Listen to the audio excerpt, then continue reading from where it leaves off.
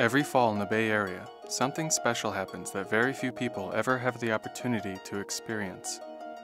It's something completely natural and commonplace, yet it sounds like something from another world or from another time. And in a way, that's exactly what it is.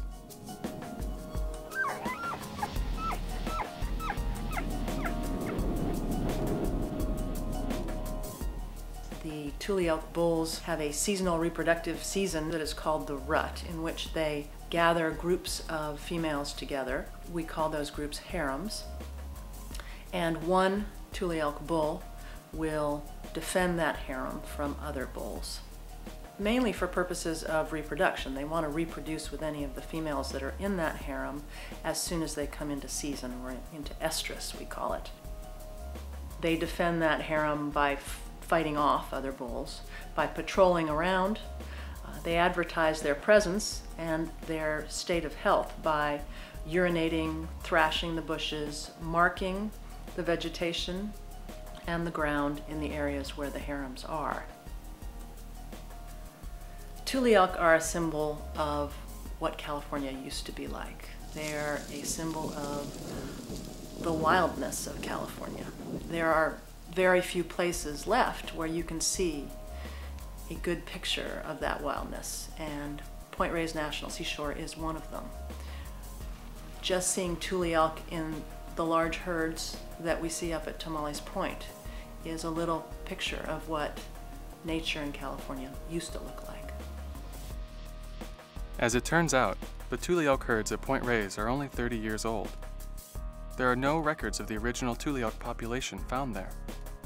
What happened to those elk happened in a time before photography and before Californians cared about their native wildness. We think that there were a lot of Tule elk in California before the arrival of Europeans. We think there were probably 100,000, maybe more, Tule elk in these very large herds throughout the Central Valley and up the coast. The European settlers that came out to California, especially around the time of the gold rush, uh, in very large numbers had a real need for protein, for tallow, and for hides.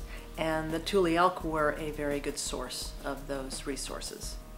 The Point Reyes Tule elk were very heavily hunted uh, because of their proximity to San Francisco, which was a really fast growing city.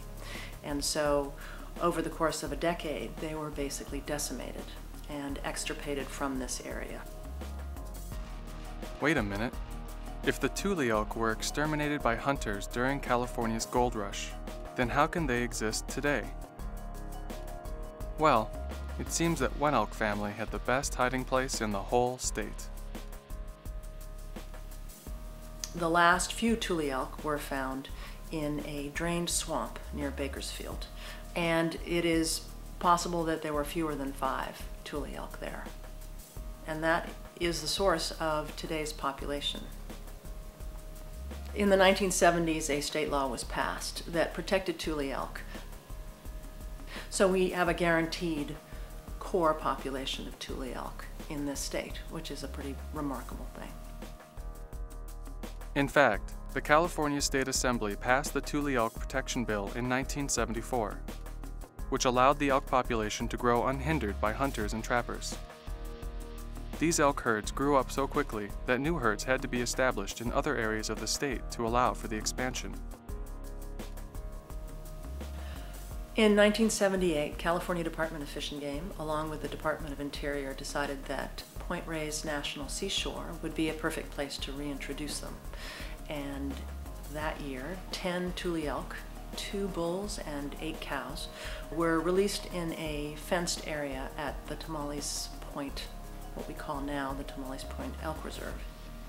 The Tomales Point Elk Reserve is a peninsula that is surrounded on three sides by ocean and at its southern tip has a, an elk-proof fence. So the elk are captive, but they're captive within a 2,100 acre area.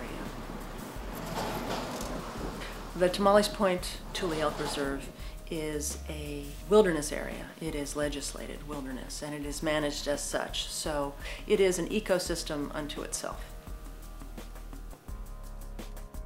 The wildlife biologists at Point Reyes take the Tomales Point ecosystem very seriously because the elk herd depends on it for survival. The entire reserve acts like a giant laboratory experiment where scientists study the effects of reintroducing a native species to its long forgotten native habitat.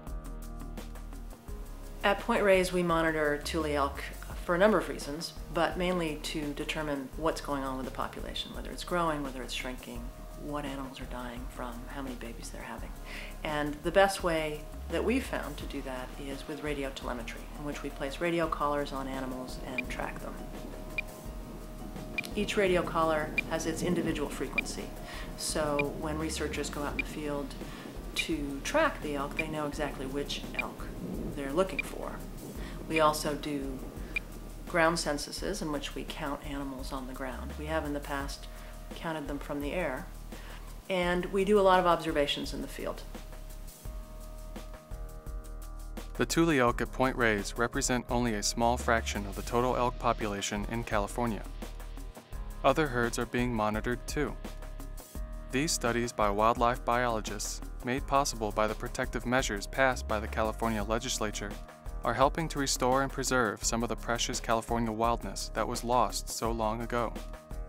The future of native species like the Tule elk and of native habitats like Tomales Point looks bright.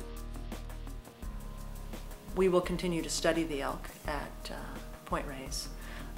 And California Tule elk will continue to thrive in the herds that they're in now.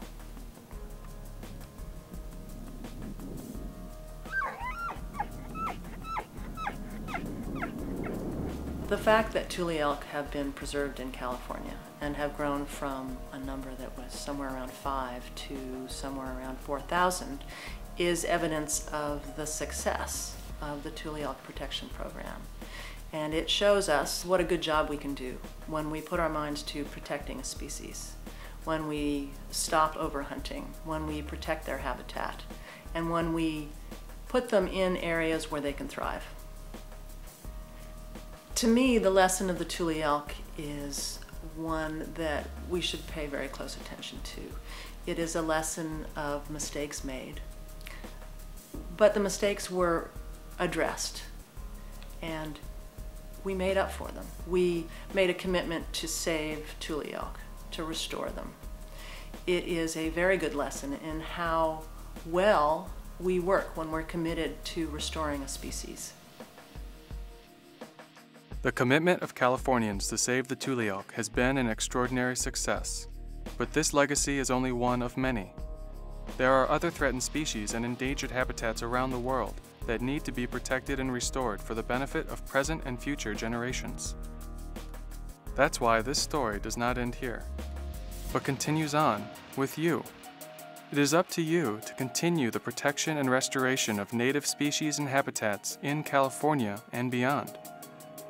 These legacies remain in danger, and they're worth fighting for.